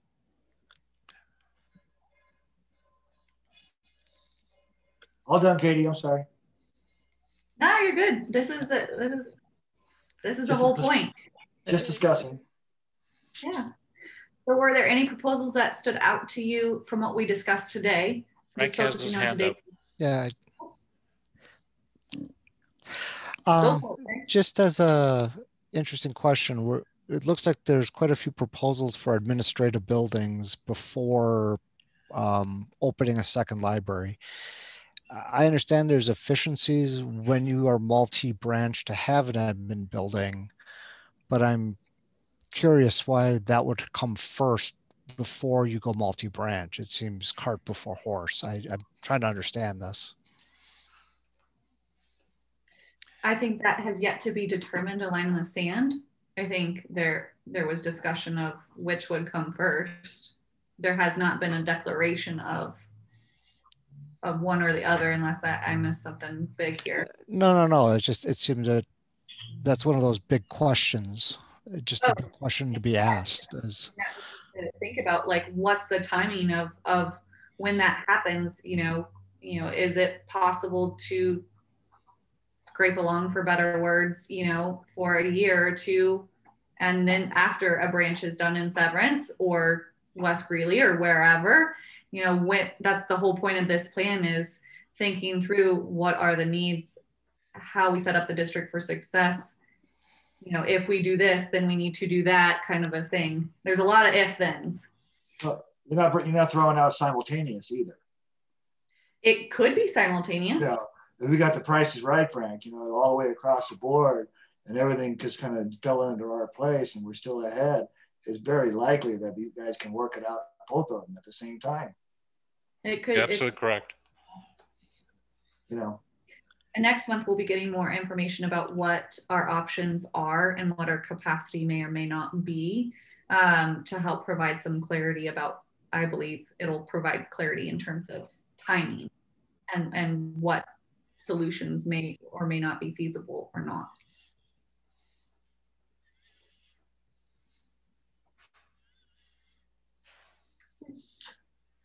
Any proposal that stood out to you? Any that kind of raised some questions or concerns?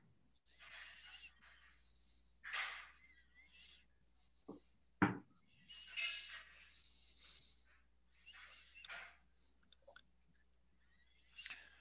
think we can eliminate the big one, right?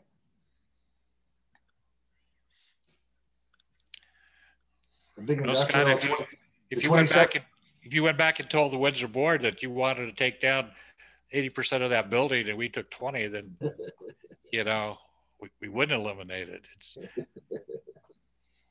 If the partners are right, if the price is right. Uh, yeah. just the maintenance alone is a nightmare, though. Imagine that. You know. I, I, I mean, your team members have told us that you guys are hurting for square footage. The police department is, the rec center is, uh, even in, uh, even. Just build a in new town rec hall. center. Just build a new police department. Well, I, I mean, all I'm saying is we all need square footage, we all need space and it's, but you guys aren't ready to, to discuss it. It's, it hasn't even gone to the board or to you guys from, from your operations people yet. So they don't know what they want. And The And fire put- chief, the fire chief has a, a pretty good list of what he's looking for. Um, but, you know, they can't do it on their own either right now because they're building a new fire station. And so, you know, he's interested because they're out of space too. And he's talking about administrative office space, but, but he doesn't want to commit to anything until they know which direction we might be going. And then he'd be very interested in sitting down and discussing things with us. But until this is a we, real chicken and the egg thing, Anne. I mean, well, until we know what we want to do, until our plan is sort of in place, um, I, I think you know then they would be interested in sitting down with us and saying like, okay, here's how it would work. But right now, they're they want to break ground on their new fire station in April, so um, that's their priority right now. And if we said to him, yes, this is the way we want to go, then the next step would be to get somebody in there and start designing the space. But we're not ready to do that yet either. And so I think it's good that we're having a conversation, but I don't think we're ready either to say this is what we want to do. And I think the rec center is probably the least ready to commit um, because they're looking at building possibly a new police station and then using the current police station for something else, but they haven't gone through a complete facilities plan yet either. So you're in the midst of that. So there's a lot of moving pieces. And and the co-located space option is going to be as as we kind of discussed early on, that's going to be one that's likely a, a more of a longer term thing just because of the nature of government entities and, and all the when you have multiple people involved and especially multiple government entities, things move at a slower pace. Bill, you had your, your flashing your fingers.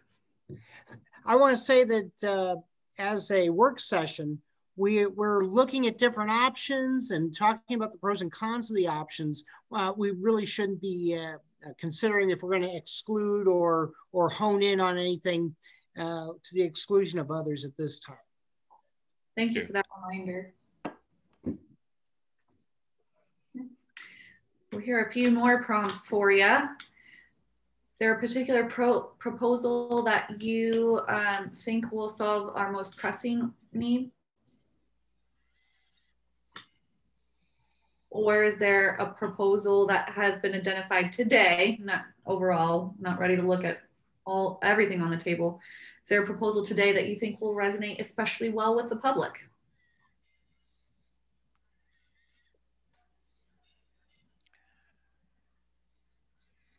Uh, and Frank, I apologize. Is that an old hand raise or a new hand raise? I'm just not seeing it. I, am not intentionally ignoring you. uh, no, that's an old hand raise. I have to okay. find that and kill that. okay, just making sure. So I, I, I, I go back. I hesitate now with Bill's comment there that we're not alienating anybody or anything, but we are still trying to process all these different options and the pros and cons, right? So sensibly, we got like a bunch. We got four or five options tonight. Ash one is not an option for a library, so that's only for only for an administrator. But the big 27,000 square foot building, unless you can get everyone else going around, I don't think that's an option. I think diner, the diner one is pretty darn expensive. Um, would that be for a live? Would that be thinking for a library or the administration? Library for the diner one? No, that would be an administrative space. That's administrative. So the only really library ones really are the big industrial building or the flame or really we keep it really is is the deal with the uh, severance. Today. industrial one is considered for a library. Yeah, is that the only one really? I mean, that, that one in the flame and severance really is. No, the, the industrial building is not for a library. That's shared administrative space. Oh, my bad. So really, as far as so. So two different thoughts, really. Which one is going to be the best building for the administration building, and which one's going to be best for the potential library? And can we do them both by still maintaining our asset of the land? I, I think, I think public perception, I think there are a lot of people who would like to see us sell the land, but I'm not sure that if they're aware of these issues of, wow, it's already appreciated in value and it might continue to. So I think that part of it isn't very well known right now.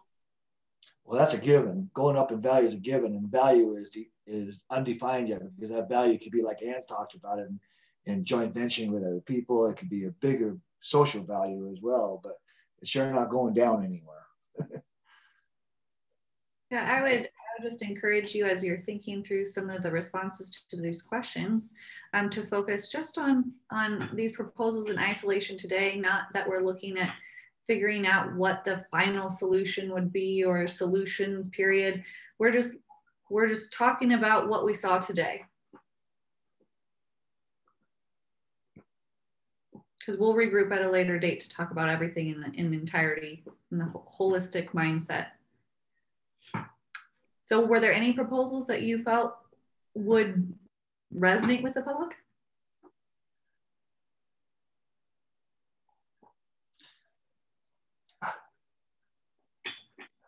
If it's all administrative, I, I think the public would just want to see us do this in a, a economical fashion. Mm -hmm because most of what we were talking about today was administrative. Correct.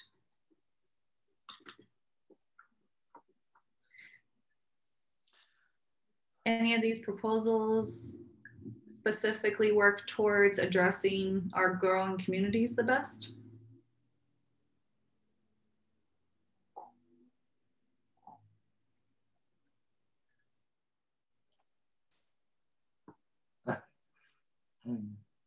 You know, I hate to say this, but there's still so many unknowns to each to each proposal that to answer that question would be they are. impossible simply because uh, we, we don't know yet. And I, I, think we're going to have to take a look at proposals for new libraries and for administrative space and do what ifs and trade offs and, and define a path that's best count our dollars and see what we can do and then propose it to the board. I, I agree. They're difficult questions to answer. You know, we have two proposals here. We looked at administrative buildings and we looked at potential libraries. So which which serves the need of the growing community best? I don't know. Do they need an admin building more or do they need a branch library more? Well, we need both. I know. How do we address it? And how do we not talk about it with these questions, you know? I, I, think our number one priority should be to serve the community's needs by providing libraries for the people first, and then uh, also followed quickly with we can provide more library space by providing administrative facilities offsite as well. You know, that also adds that equation. We saw that in the proposal. If we move people out of the main library, we'd have more space for more. If that's your answer, Ron, then you got two proposals on the table. You got the severance deal or you got the flame deal. That's the only two proposal, proposals I'm seeing that are a library. Right now. You haven't seen them. So it's confusing. so just hang on. you still got right. a month of options. Well, you're you asked us to evaluate on what's been on the table tonight. Are yeah. you saying are you saying there's more options we don't know about yet? Yes, that is exactly what I'm saying. well, that's not even fair to have an opinion on these things without knowing all the options. I think you're already working towards how how to fit all the jigsaw pieces together, Scott. And well, tonight we're just talking about um, in isolation. We're not talking about the final solution, the plan. Um, I would just encourage us to to focus on what has been presented. You know. So we, we've seen presentations tonight, and we saw the severance presentation before. So if if you're asking the sum of those two meetings, is that what we're talking about, or just today's meeting? Because I can't answer your question with just today's stuff. All right, that's fair. Okay. All right. Any other thoughts? I know we're running a little over on time. I, I think you provided a lot of information for thought, you know, and I really appreciate the amount of effort you and the team have put into this. It's excellent. I think nobody can question any decisions we come up with because we've we've checked all the boxes and we've kicked all the tires and the opportunities potential. So I think we're ready for whatever the next phase is. And it it might be interesting if um, I mean I know what some of the budget numbers look like, but uh, I guess just to put down the numbers of dollars that we're playing with, because I mean obviously eight million I'm positive is well beyond this library's ability to fund. What what um, what I said earlier, the meeting, Frank. I, I, don't mean to interrupt you, but just to, to short circuit because I'm I've got to go somewhere.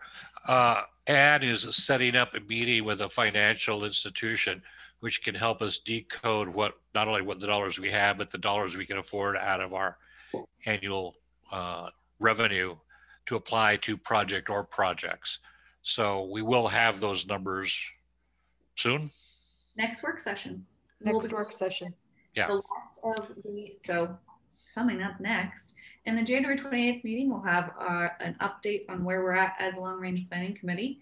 Then at the February 11th work session, we'll be tying up the loose ends on the remaining um, uh, options.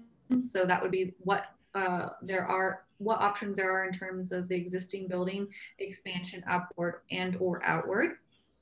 Um, the one large facility conversation, co-located or shared facility options and developer partnership options.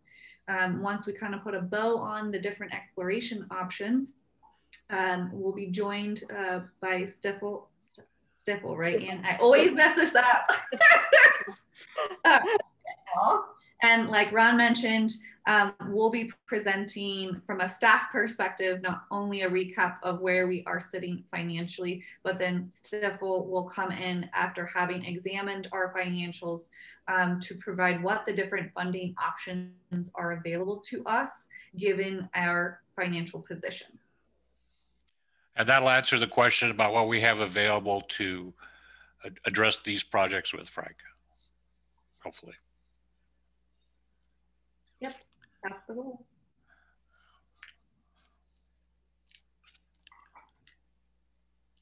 All right. Well, any final questions for me or any other, as, as we've been looking at items, um, is there anything that you'd like us to um, refresh our memories on, pull refresh data on? Any, any questions that have been percolating in your mind?